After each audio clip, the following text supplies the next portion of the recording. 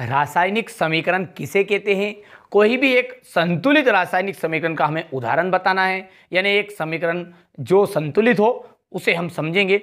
देखिए, class tenth में बड़ा ही महत्वपूर्ण प्रश्न है और हर साल पूछता है। ठीक है? कि संतुलित रासायनिक समीकरण का एक उदाहरण दीजिए या रासायनिक समीकरण किसे कहते तो देर किस बात की? वीडियो करते हैं। जल्दी से स्टार्ट। देखिए, यहाँ पर रासायनिक समीकरण को समझने के लिए एक उदाहरण मैं आपके सामने लिख रहा हूँ। कोयले का दहन। क्या लिखा मैंने? कोयले का दहन। ठीक है, ये आपका एक रासायनिक अभिक्रिया का उदाहरण है। किसका है? रासायनिक अभिक्रिया का उदाहरण है।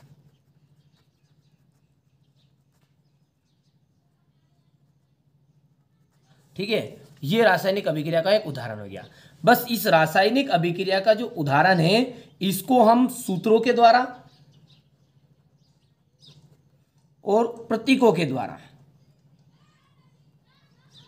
दर्शा देंगे, यानी कि इसका निरूपण कर देंगे। निरूपण का मतलब क्या होता है? निरूपण मतलब होता है प्रदर्शित करना, दर्शाना। किस तरह से? जैसे ये कोयला है, कोयले को कहते हैं हम कार्बन।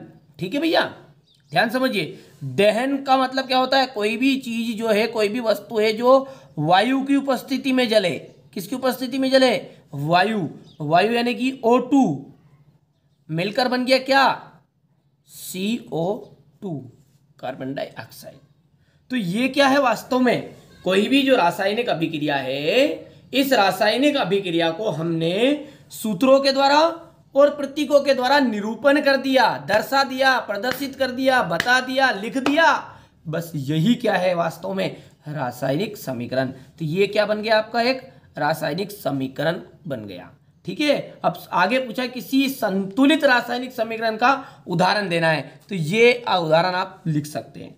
दूसरा एग्ज़ाम्पल आप ले सकते हैं J ten zinc plus H two S O four ठीक है?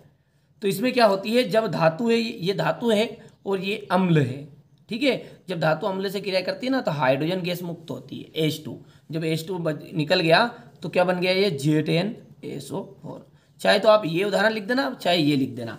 बहुत ही सिंपल भाषा में मैंने आपको समझाया और ज़्यादा समय भी नहीं लिया है। क्या बताया मैंने?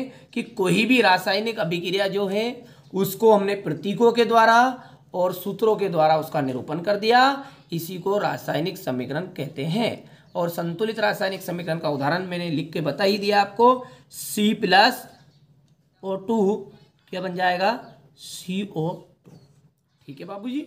अच्छे से कंप्लीट करना है।